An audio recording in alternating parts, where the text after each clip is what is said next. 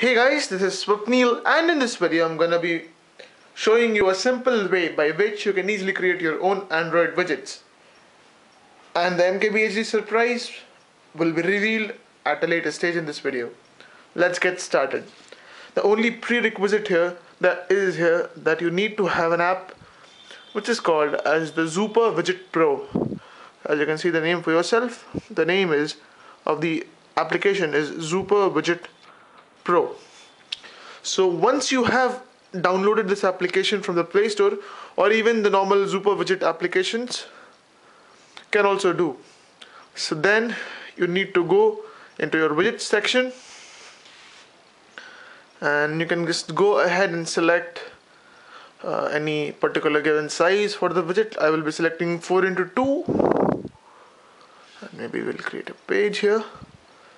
So here we have our widget installed. So as you can see, resize or tap to start. So we'll have to tap it. Then we'll have some various options. So like empty, built-in SD card, auto 7 MKBHD. So for creating a widget, you need to select empty template. And if we select it, we have a blank canvas for us. And we have various operations through which we can create our very own Android widgets. So let's get started first thing is layout. You need to go into layout. And this is where you will add various elements to your widget for example if you want date time um, then you want day temperature then you need to go into this part.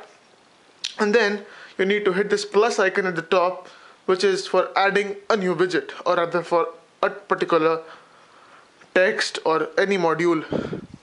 So if you go into text we see here we have our time that's 1705 but we can change it pretty easily by going to the text content. And then we have various options like time date battery calendar astronomy locality network system and weather. So if I want to install the time but I, I want to have some different sort of an arrangement then we can go into this AM and PM and then we can go to the X offset which will determine its position in the x-axis and the y-offset will determine the position in the y-axis. So maybe you can have it a little somewhere around the top. Maybe we can increase the size from the size option. You can even enter values arbitrarily. That would also result into the same thing. So I think this is fine and then we also have color options like color of the text. So maybe you can select something like reddish maroonish color. So here we have a maroon color. And then again according to your choice you can set up. So here we have the time module installed. Now to install a next module we'll have to go back and then again add click the plus button. Then we again have various options now I want to add a date. So I will again go into text.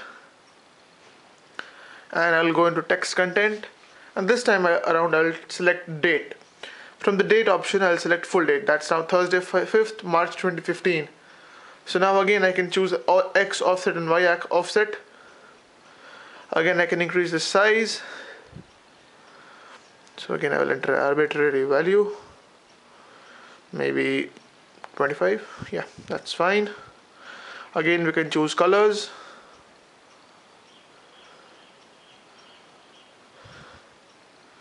So there you there you have it guys. I have now installed successfully the time as well as the date.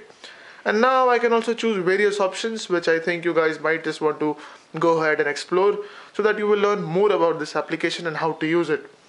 Now I have done everything. I just need to go back into the main home screen where from where we started. Now we have widget background and this is something with which we can select the background of the widget. So maybe something like blue color. So here we have a blue background on which date and uh, time and stuff will be appearing. And we can also choose widget on tap action. This is something which would happen if you click the widget once when it is installed in your home screen so like then I can go into Zooper configuration disabled and stuff. We can also go into apps. So maybe I can select uh, CPU Z here. So now I have done everything. And if if if I wish to add some more layouts and stuff or modules onto the widget I can easily do so by going into the layout and then clicking the plus button at the top. Now let's save our widget. Let's give it the name of so there you give guys I have given it my name and then we can save it. And if I now if I press the home button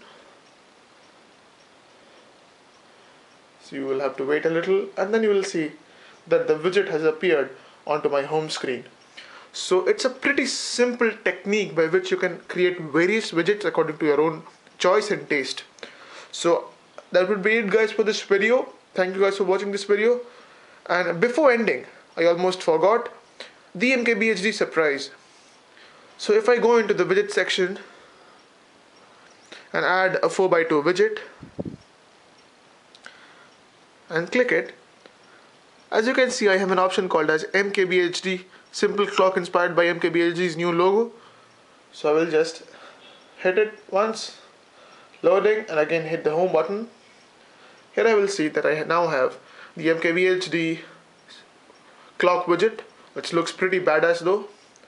So for doing that I need to go into the Play Store and search MKBHD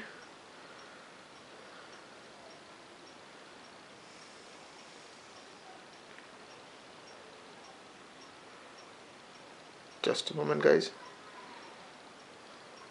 So this is the clock MKBHD clock and this should be installed. So you can just go ahead and search it in the Play Store and just download it. And this is an add-on for the Zooper Widget Pro or even for the Zooper Widget. So that would be it guys for this video. Thank you guys for watching this video and hope you enjoyed it. And if you did so feel free to hit the thumbs up button down below and also don't forget to subscribe. You can also follow me on Facebook Google Plus and Twitter. Links to all of them are in the description. Thank you guys for watching this video and hope you enjoyed it